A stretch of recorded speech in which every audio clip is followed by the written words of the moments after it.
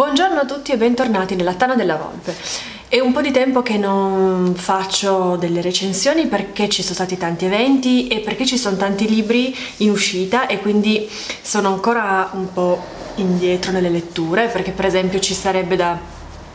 eh, parlare del nuovo libro di Akishi Mazaki oppure di frotte di pesci rossi insomma c'è tanta carne al fuoco in questo periodo ma visto che siamo ancora un po' indietro io oggi volevo parlarvi di un libro di cui vi ho accennato e che si intitola L'uomo che voleva uccidermi. Dunque, eh, L'uomo che voleva uccidermi è la traduzione italiana del titolo originale che è Akunin, è stato pubblicato da Feltrinelli nel 2017, quindi un anno fa più o meno, ed è di, e giustamente l'autore è Yoshida Shuichi. Stiamo parlando di un, um, un, romanzo crime, un giallo, quindi un, una storia che gira attorno a un omicidio, semplificandola, l'omicidio di una donna che si chiama Yoshino, di una giovane donna. E la cosa che però colpisce subito di questo romanzo è innanzitutto la struttura, perché è una struttura particolare dove siamo introdotti subito al personaggio femminile, quindi a Yoshino, siamo introdotti subito al, um, alla sua vita, alle sue problematiche, alla sua forma di esistenza particolare e siamo poi introdotti a tutta una serie di personaggi femminili e maschili che costellano la narrazione, che seguono quindi il detective o i detective in, a capo dell'indagine fino alla risoluzione finale e alla, e alla soluzione finale. È ambientato nel sud del Giappone, siamo nell'isola di Kyushu eh, tra mm, Nagasaki, Fukuoka, insomma in zone che solitamente non sono tanto prese in considerazione quando si scrivono dei romanzi e anche questo è un elemento che ne fa un racconto un po' diverso dal solito perché chiaramente noi siamo abituati a romanzi ambientati a Tokyo. Eh, anche solo Natsuo Kirino lei è famosissima per ambientare un sacco di testi un sacco di racconti comunque all'interno di Tokyo e spesso all'interno di Shinjuku del quartieri del piacere eh, in questo racconto invece, questo romanzo invece ha un'atmosfera decisamente diversa. Di nuovo siamo nel sud del Giappone e siamo scaraventati nella vita di questa donna che all'apparenza è la classica vita di una dipendente eh, di un'azienda ma che poi appunto già da subito individuiamo come una donna che ehm, è abituata a, mm, possiamo dire, a incontrare degli umani online, incontrare degli uomini online e farsi pagare per andare a letto o per andare a cena fuori con queste persone. E attorno a questa a questa dinamica si instagliano quindi le figure di tanti individui che sono fino all'ultimo eh, verosimilmente in grado di ammazzare questa persona. Yoshino muore, viene uccisa nelle montagne vicino a una galleria e lo sappiamo subito ovviamente, quindi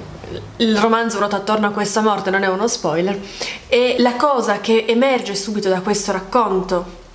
da questo, anche da questa forma di scrittura che per me è stata molto accattivante è la modalità in cui si parla dell'umanità. Ed è qualcosa che porta questo romanzo molto lontano dai classici, dalle classiche crime stories, è un po' più vicino a Natsuo Kirino e alla sua rappresentazione dell'umanità giapponese, anche se ci sono delle diversità e c'è una sensibilità diversa in questo caso. Perché quello che emerge tantissimo in questo, in questo romanzo è eh, la come possiamo dirlo? La decadenza di una società la difficoltà degli individui, degli esseri umani di stare insieme e di interagire in modo umano. Perché oserei dire che non esiste una, una figura all'interno del romanzo, neanche i genitori della vittima, non esiste una figura scevra da problematiche relazionali. Hanno tutti una difficoltà Yoshino per prima a interagire con il mondo circostante e eh, emerge soprattutto da un lato come problematica femminile nel riuscire un po' a mh, mm, eh, sfondare, possiamo dire, le, mh, mm, i pregiudizi sociali anche, quindi i canoni sociali che circondano la donna. E in questo senso ricorda molto la ragazza del convenience store di cui abbiamo parlato qualche tempo fa. Ma accanto a, alla narrazione e alla descrizione della femminilità in una maniera che sembra quasi appunto decadente e, e molto border, molto poco lusinghiera, troviamo una descrizione dell'uomo, un, una, um, una restituzione di immagini maschili che sono altrettanto angoscianti. Chi per un verso, chi per un altro, l'autore restituisce figure che hanno uno scollamento totale con la realtà ci sono due o tre personaggi, tra cui Masuo, che è uno studente universitario, amato da tutti, elogiato, l'idolo delle donne, eh, che però dimostra di avere un'incapacità, un'incapacità a stare al mondo, in qualche modo, un'incapacità di relazionarsi umanamente ad altri esseri umani e eh, che rimane, come tutti, eh, uno dei, dei, sospetti riguardo l'omicidio di di questa ragazza e che quindi fa trasparire il disprezzo al maschilismo che alcune, alcuni individui uomini hanno nel, nei confronti delle donne e di donne che fanno alcune scelte. Così come emerge questo lato negativo da parte di un, un personaggio carismatico come Masuo, che potrebbe essere un po' l'uomo alfa nella narrazione, è anche molto interessante un altro personaggio che di nuovo ricorda per qualche verso i personaggi citati da convenience store che è Yuichi ed è un, uh, un uomo, uh, anche qui che rimarrà un sospetto fino alla fine, eh, che sembra fortemente incapace di stare dentro la società. Non parla con nessuno, non interagisce con le donne, non interagisce con i coetanei, è silenzioso e ehm, la, sua, la, sua, la sua attitudine verso il mondo viene spiegata durante la narrazione dei nonni a causa dell'abbandono della madre e di un padre assente e inesistente. Quindi di nuovo sembra che l'autore riesca a mettere insieme in un crime, quindi in un racconto che teoricamente ha un cuore diverso dal, dal, dal, racconto intimista, riesce a mettere insieme però delle tematiche sociali enormi e delle tematiche sociali trattate, di nuovo a mio avviso, in una maniera molto toccante e molto particolare rispetto a tanti altri romanzi, magari più eh, in quel filone.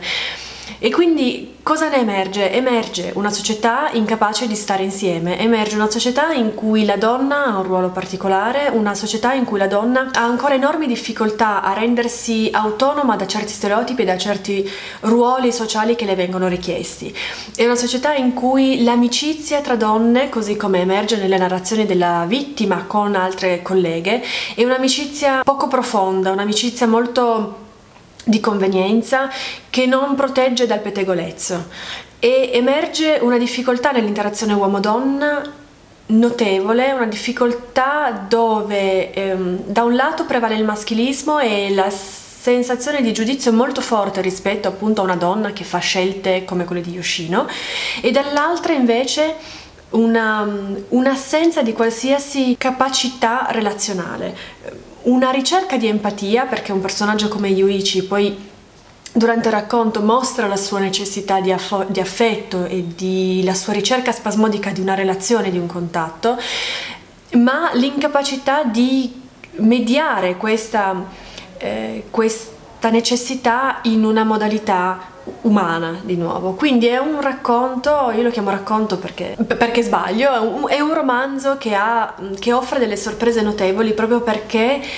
eh, affronta delle tematiche umane universali che potremmo adattare anche nella nostra società per certi versi come il giudizio per una donna facile una donna che va a letto con tanti uomini per farsi pagare e che quindi se muore se l'è cercata, dall'altra l'incapacità di individuare un'umanità eh, maschile, in, sorry, un'umanità maschi, un'umanità maschile eh, che sia salvabile in qualche senso perché praticamente tutti gli uomini che vengono coinvolti nell'indagine mostrano di essere tutti potenzialmente colpevoli. Akunin vuol dire eh, uomo cattivo, ovviamente in giapponese il plurale non si distingue dal singolare quindi è un titolo molto più azzeccato, addirittura potrebbe essere umanità cattiva, esseri umani cattivi. E in effetti quello che esce da questa narrazione è uno spaccato di società eh, se non angosciante, però con delle problematiche relazionali molto marcate e con un'assenza notevole della, della, famiglia e quindi della capacità della famiglia di lasciare un'impronta positiva sulla vita dei propri figli in varie modalità. Io ne suggerisco la lettura in maniera assoluta, più di più di La ragazza del convenience store, più di Murakami in questo momento. Murakami è stato bellissimo, ma chiaramente tutti conosciamo oramai Murakami quindi sappiamo cosa aspettarci. Questo invece è un salto nel buio, di nuovo è un crime, è una crime stories, quindi comunque eh, rimangono tutte le tematiche di, una, di, un, di un giallo e quindi la ricerca dell'assassino, l'investigazione, la, scia di indagine, insomma rimane tutta quella parte molto importante. Ma questa tematica sociale, questa parte sociale forte così marcata è davvero una prima volta che io la individuo al di là di Natsuo Kirino, ma per certi versi ancora di più in un romanzo, eh, in un romanzo giapponese che si occupa come dire, come genere di altre cose. Spero di non essere stata troppo confusa, io vi ringrazio per aver seguito questa recensione della Tana della Volpe. Se avete delle mm, richieste, dei suggerimenti, se avete dei libri di cui volete parlare, volete che parliamo insieme, fatemelo sapere nei commenti e io per ora vi ringrazio e vi bacio. Ciao!